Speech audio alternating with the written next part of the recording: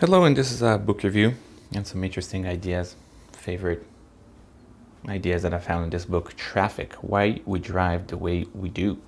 I'll start with a review. This is a fucking good book. Uh, definitely a five star. Lots of information, packed with information, which I love.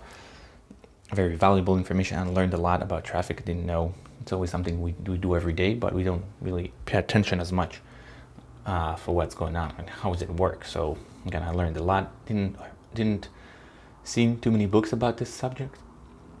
So again, I learned a lot, and I definitely recommend this book. Five stars. Now there's a lot of notes, which usually tells how much I learned. So let's see. First one is traffic is an old problem. In Rome, they had serious traffic problems. So it's going back to the days even in Rome they have they had traffic problems. This is not a new thing. Fortunately, we did not solve this problem yet. Drive until you qualify mean that people live uh, live farthest from the city in order to qualify for a mortgage. I like this. Drive until you qualify. It's kind of a real estate agent's idea. You drive until you can qualify. Uh, because the farther you go from the city, usually it's cheaper, so drive until you qualify. I like this idea. One of the reasons that the other lane moves faster is because we spend more time looking at that lane that moves faster than we move faster. We usually, this is why we think, always think that the other lane moves faster because we spend time looking at it because we are stuck in, when we're stuck in traffic, we look on the other lane. We don't do the same. When we drive, we don't look on our, on our lane and say, oh, we drive. We don't do that. Only when we stop, we look on the other lane. Oh, they're moving now. And so we look, we don't have enough data in some way. Late merging is better since it utilizes the whole space of the road.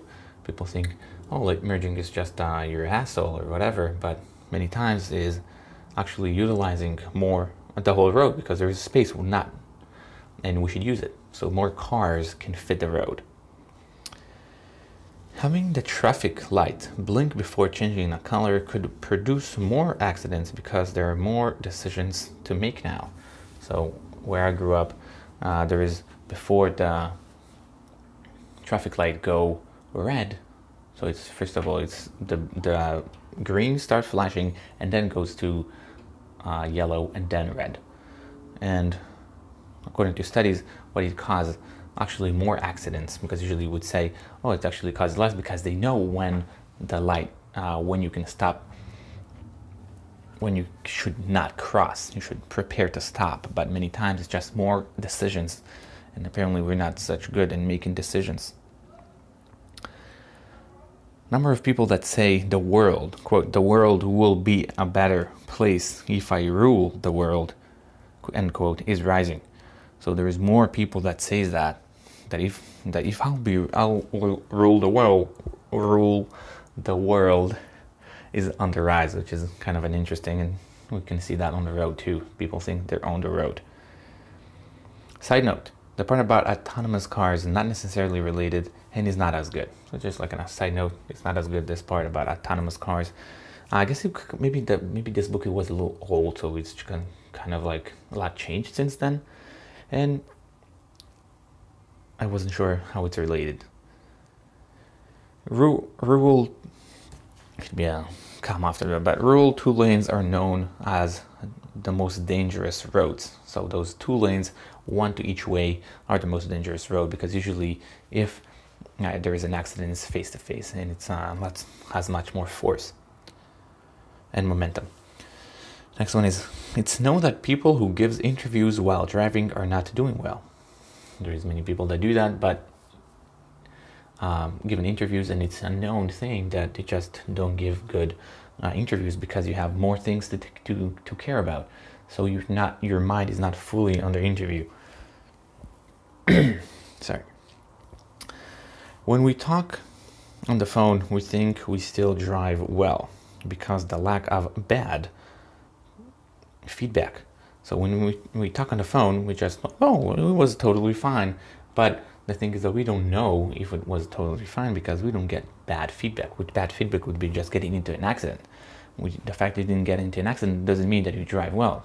Some other people could fix your bad your bad uh, moves, but because you didn't get you didn't get that that, that feedback uh, feedback, uh, you think you, you drove well, which is not necessarily true.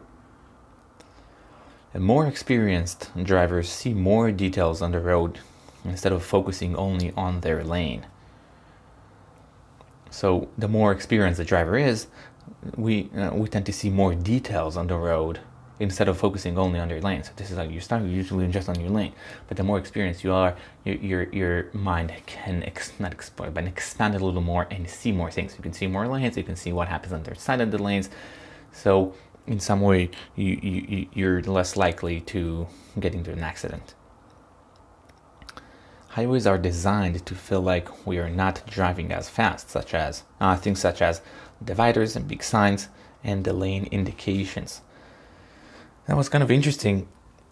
So they actually designed because we are we're actually driving quite fast. It's like on average about 70 miles per hour, and that's quite fast. And they actually engineer those highways to not look like we drive as fast. So there is the, the dividers are bigger, the signs are bigger, because if you have smaller signs, you will uh, go through them very fast. I think the most important one is the lane indications. So there is there is like this uh, between the lanes. So how long is the line? If, if it's too short, like it's in the city, those are shorter. So if you will have the same, you will feel like you go very fast. So they make them longer. So you you'd think you don't go as fast.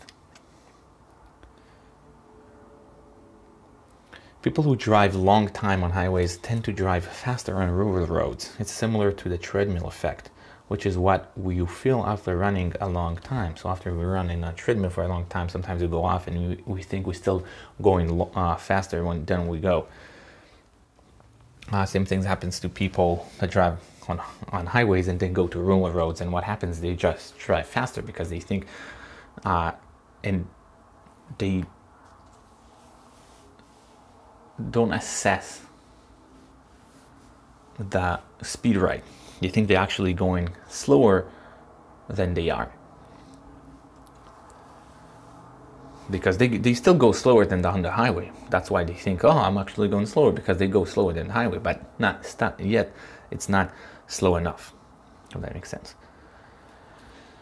We are bad at estimating how fast we drive since it depends on the environment such as trees and etc. Sometimes, and they did a lot of studies about it, how fast you go and sometimes we think we're good at estimating, but we're actually pretty bad because it really depends in what environment you're going. So if there's a lot of trees, how big are the trees? And uh, it really depends. It's kind of connected also to, to the one before that we were bad at estimating. This is one of the reasons why. Traffic flow on the highway is similar to a bucket of water with a hole. The flow of water is smoother when there's less water coming in. That's one of the problem with uh, traffic. There's many cars that try trying to go at the same time. So this is just just like pouring a lot of water to a bucket when like a small hole. So usually if it's like a smooth drip by drip, it will go uh, out faster than if you pour a lot of water at once roundabouts are actually better than traffic lights or stop signs because we don't get green all the time. That's why roundabouts is actually better than traffic lights because sometimes you think, oh, but I'm gonna get I'm gonna get green. No, you're not gonna get green all the time, or you're not gonna get into the stop sign first all the time. So you're usually gonna wait. In roundabouts, you don't wait unless there's other people there, or there's more people also can go at once. When too many cars merge into the highway, they try to merge into the first lane, which eventually makes people move to the other lane and so on. That's what usually causes congestion. It's not just the highway, it just slows down. Usually it's the merging or when you go out. So people that merge, they will try to merge to the first lane, and after the first lane, they're trying to move to the, the lane next to it and so on, and that's causes congestion because everyone needs to slow down for them. One, one way to stop, to prevent, sorry, one way to prevent stop and go traffic is to not accelerate to occupy the empty space. Instead of 60, drive 30, for example. So sometimes there is like stop and go traffic is there is like there is construction and then we we drive. It happens in many many uh, highways.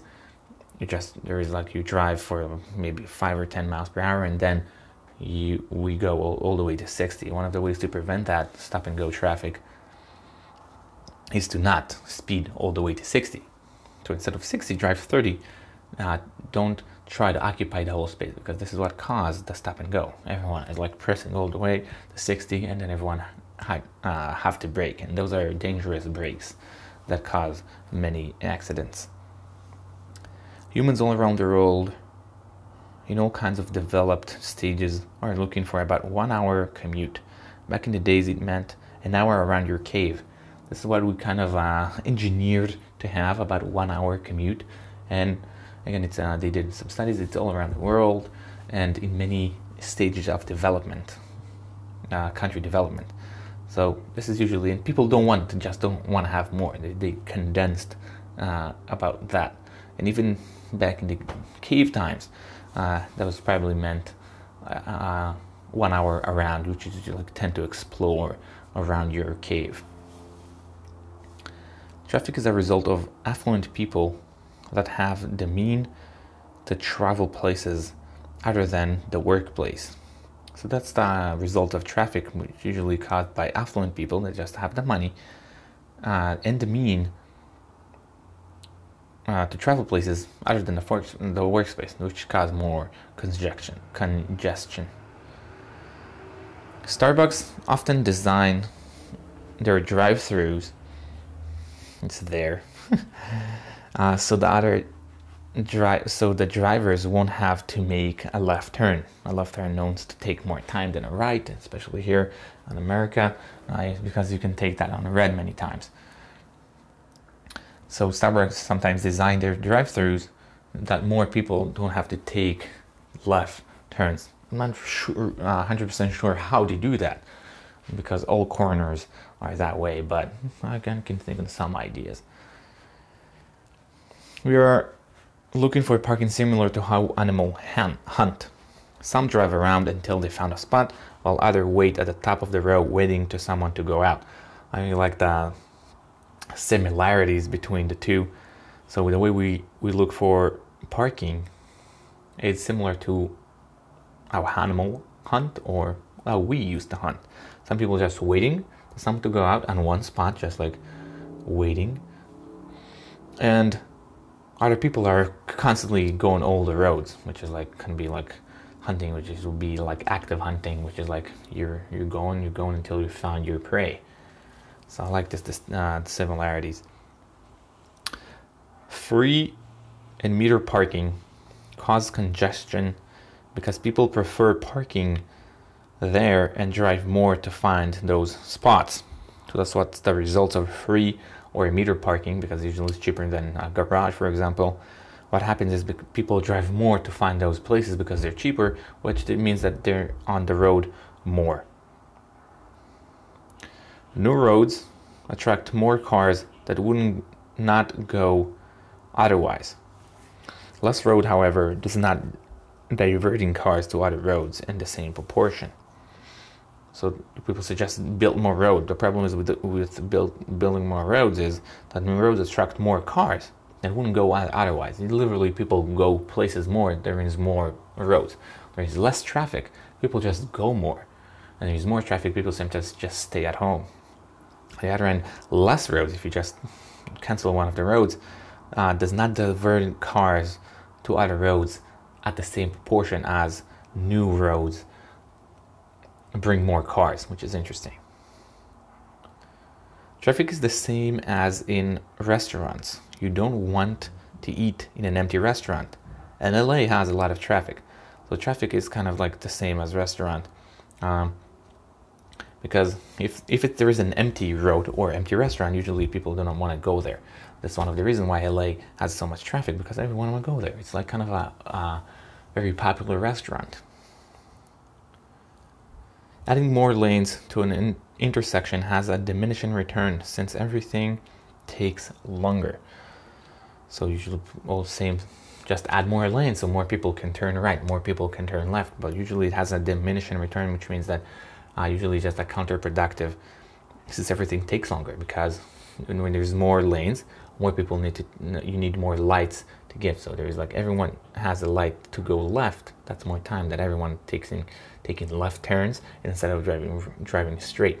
So sometimes it has a diminishing returns. Disney is in the traffic business similar to cities. Since they need to engineer the flow of people so not all go to the most popular places. So Disney also, I think they have like uh, traffic engineers or people that at least work in, in traffic engineering, because it's a, it's very similar to cities because they want they don't want all people to go to the most popular spot. So they have to uh, find or engineer the place in order to prevent that from happening same similar to cities. You don't want everyone to go to the same spot, which sometimes happens, like downtowns, for example. But still, they try to divert uh, people to go to more places. Adding more space on rides means that at most days of the year it will be empty. You don't design a church for Easter Sunday. That's what's happening in, in Disney, for example. Uh, just people say just have more rides, uh, add more uh, blocks what happens is that if you add more, which means most days uh, of the year will be empty, so you don't design a church only to occupy everyone at Easter Sunday. You design for average, uh, average day. Self-destroying prognosis is what happens in the stock market, for example. If everyone would know the stock market will rise tomorrow, it would no longer rise tomorrow. So that's the idea of self-destroying prognosis. Um, because if everyone would know what's what, that it's going to rise tomorrow it's no, no longer going to rise because it's going to rise today uh, that's the idea i like this idea when you feel safe it's probably not as safe and when you feel unsafe it's probably safe most accidents happens on the on the highway during the day to sober people many people think oh i feel safe right now but many times when you feel safe it's not safe uh, especially considering uh, statistics. And when you feel unsafe, it could be safe. So, for example, you drive at, the, at a highway, but it could be very, very, very, uh, very dangerous because many people down the highway. But if you drive on like a, some kind of a rural road, you feel very unsafe. It could actually be safe because there is not a lot of cars, and you drive slow. Most accidents happens to highway during the day to sober people. So that's kind of like that statistics, and we don't we don't think that. More pedestrians getting killed crossing a marked crosswalk than jaywalking. And this is kind of a sad. So more people, uh, people, oh, jaywalking is very dangerous, but actually more people are getting killed on a crosswalk. Humans are terrible at finding gaps to merge. That's one of the main problems people have. You don't, you don't know when is the safe time to go sometime out of that suicide lane, for example, or just even merging to a highway. You think it's safe, but it's unsafe, and they're really terrible at finding those gaps. Side note, the author argues that road should should indicate how fast you should go. The problem is that some places cannot be redesigned or it's too expensive.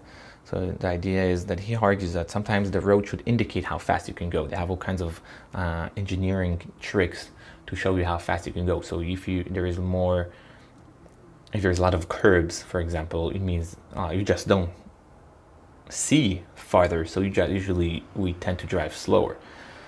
So that's what he argues for. But that problem, I think, is that sometimes it's a kind of a money problem. You don't, we don't have that money to to design every road uh, so people can understand what's going on. It's safer to ride a scooter in Rome than in the US since people are expecting scooters. So in Rome, there's a lot of scooters, so it's much safer to ride, ride a scooter there than in the US, which people do not expect them. People mostly obey the law because they think it's right. Therefore, in countries where the justice systems is working, more people obey the law. So people obey the law because they think it's right and not because they obey the law because they need to obey the law. So that, the, therefore, in countries where the justice system is working, where people obey the law because they see it works. Don't veer when you see a deer. Sounds even good. It's mostly more dangerous. People sometimes veer when they see a deer, and sometimes they go off the road or get into a more uh, problematic situation, sometimes just better to just hit the deer. Sorry. Uh, there is a 1 to 100 chance to die in a car accident, in car accident within a lifetime. So it's 1 to 100 chance in a whole lifetime. You have a 1 to 100. It's not that uh, high, or it's not that low actually, uh, to, to die in a car accident. So one, every, one in other people, in a hundred people would die in a car accident. Fatal accidents rates are lower in congestion congestion time. Usually is the consequence of uh, lower speeds. Speeds and fatality of a U-shaped curve. Low and high speeds is more fatal, usually a consequence of a variance between cars. So the speed and fatality, if you go, if you put both on the x and y axis, they have a U-shape curve. It's going like as a U. A low and high speeds are more fatal. So there's there's that like the the edges of the U. There is I fatality rates on low and high speeds. And the reason is usually it's a consequence of a variance between cars. So if you drive very fast, there is cars that drive slow, you hit them, you're more likely to die. Or if you drive very slow, most cars drive fast, you're more likely to die. Just a small amount of alcohol correlates with low accident rate, possibly because the drivers are aware of the risk and they don't want to get pulled over. That was actually interesting. So if you drink just, uh, just a little bit, I forget the exact number, but probably one to two beers, probably more than you should, a little more than you should, but you actually drive safer because you are afraid to get pulled over. So you drive safer than a normal driver. Most people who not wear seatbelt are involved in accidents, and that's why they die more often. But it's risky behavior more than the belt. So that's what I'm here is that most people who do not who do not wear seatbelt are involved in more accidents. And that's why they die more. So it could be that people that do not wear seatbelt are actually not die because they don't wear the seatbelt. It's because they are just more reckless in general. So those people that don't wear seatbelt drives drive more dangerously, and this is could be the reason why they die more but it's risky behavior more than the belt. That's what he claims that it's more the, the way they drive more recklessly uh, than the actual belt.